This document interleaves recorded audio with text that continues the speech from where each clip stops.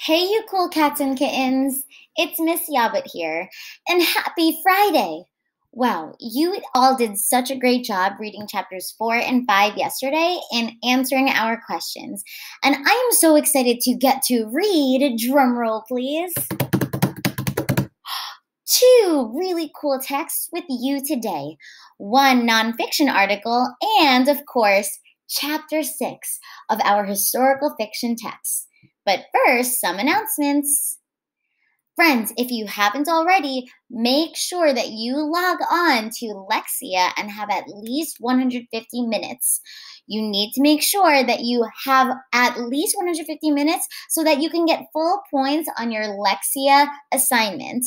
You don't need to do much on that assignment when you get that grade on Monday, except click Mark as done. Remember, your teachers are looking to give you Vista virtual points. Scholars, we also still have office hours from 2.45 to 4 o'clock, and we want to make sure that we earn the very last Vista Virtual prizes. ELA Masters, I can't wait to get to read more of Sadako and the Thousand Paper Cranes. Today, we are reading Chapter 6. As a reminder, good readers always ask ourselves while we're reading any historical fiction text, how is the setting important to the plot of the story? What can stories teach readers about the past? And how do good readers distinguish fact from fiction while reading historical fiction? ELA Masters, can you remind me what is the setting of our story, Sadako and the Thousand Paper Cranes? Yes, this text takes place in Hiroshima, Japan in 1954, nine years after the atomic bombs were dropped after World War II. It's very important that we're thinking about how our character perceives what is happening in the story. Let's review what historical fiction is, friends. Remember that you can go into classwork to find your resource historical fiction. My turn. Historical fiction is an imaginative story that takes place in the historical past and may have some real events or people. Your turn. Historical fiction is an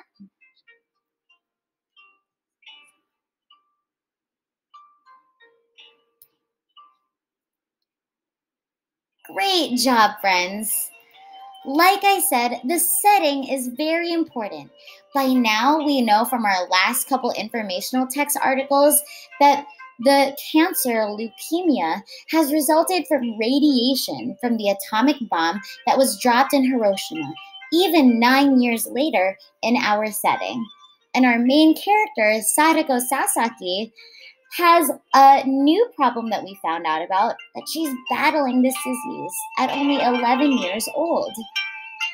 Our second characteristic of historical fiction is that it is often focused on real issues of the time and characters' perspective of them. You told me all about how Sadako was feeling when she realized that she was diagnosed with leukemia, and that is important to the plot of the story. Again, some values, perspectives, and living conditions are different from today. ELA Masters, we also know that as good readers, we often read a nonfiction text before we read a fiction text because it builds our Yes, our schema about the setting and important people and events of the time. This helps us better understand the setting and characters in the fiction text. Scholars, do you remember from our past chapters? How is Sadako going to try and solve her problem? Tell me. I'll give you a hint. It's in the title. Yes, friends.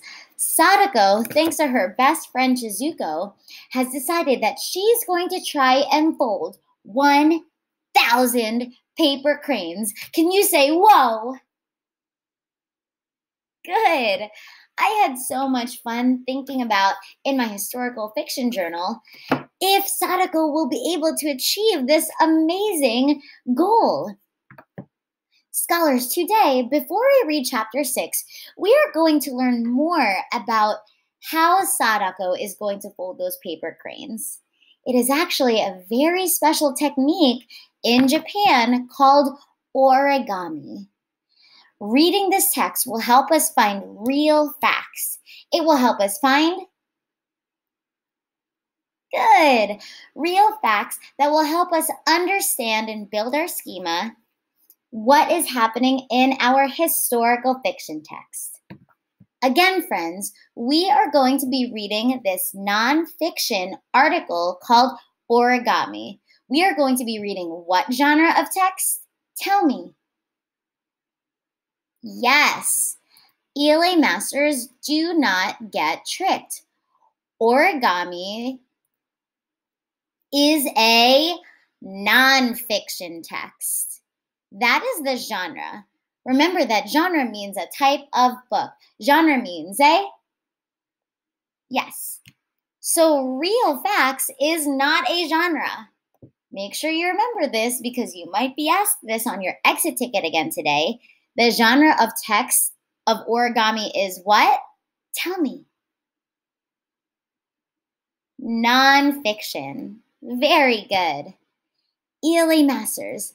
As good readers, I know that I always skim the text first to find the main topic, then I'll be highlighting the topic sentences as I read. After, I'll put them all together to form one main idea. Let's read.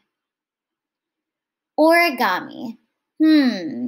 As I'm skimming these headings, I notice that the word origami keeps being repeated over and over and over.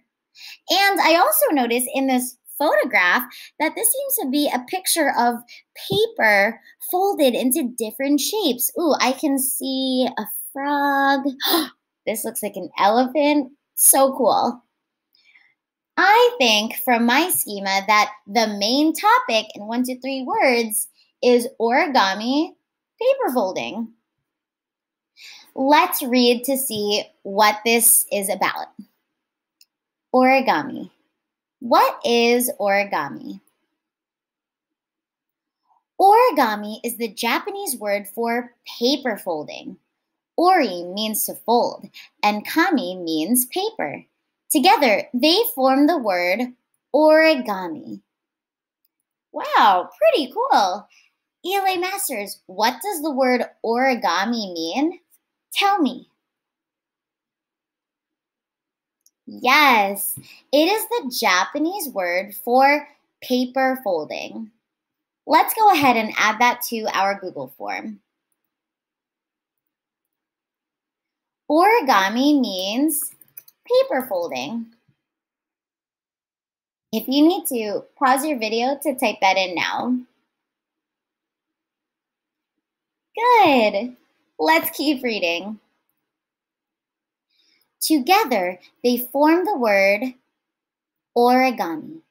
It is an art form that has been handed down from parent to child through many generations. Origami involves the creation of paper forms, usually entirely by folding. Wow. Animals, birds, fish, geometric shapes, puppets, toys, and masks are among the models that even very young children can learn to make in just one sitting. Whoa, this sounds so cool. Scholars, I think this sentence here describes to me what origami actually is. Origami involves the creation of paper forms entirely by folding. That means no glue, no scissors, and no cutting. These shapes are all formed by folding paper. Have you ever tried origami at home before? Tell me. Really cool, scholars. What are some things or some forms that you can make by folding paper, by making origami? Tell me. Yes, if you said animals, birds, fish, geometric shapes, and puppets, give me a high five. This seems like a pretty cool skill. Remember that we're reading this text to build our schema about Sadako and the thousand paper cranes. So think to yourself, what details of this text might be important so far? History. In Japan, at one time, origami was taught in schools, but today, children are generally taught origami at home. Holidays are celebrated with colorful origami decorations made by the family. Hmm. It seems like origami sounds like it's very important to Japanese traditions or things that are passed down in the families that we do every year. Hmm, that makes sense that when Chizuko brought the paper crane to Sadako, it seemed like it was very meaningful. I think that this first sentence describes to me the history between then and now of what origami is and how it's taught. In the past, it was taught in schools, but today they are taught it at home. And that gives me more information about how origami is important to family. And based on what we read yesterday, to Sadako and her best friend Chizuko. Let's keep reading. The crane. Hmm. Perhaps the most well known origami model is the crane. It has become the international symbol of peace. In Japan, every child eventually learns to make the crane. The crane is associated with health. Hmm, Interesting. So, friends, in Sadako and the Thousand Paper Cranes, why is it of all these animals and shapes that Chizuko could have made for Sadako, she chose to make a crane? Why do you think that is? Tell me. Right.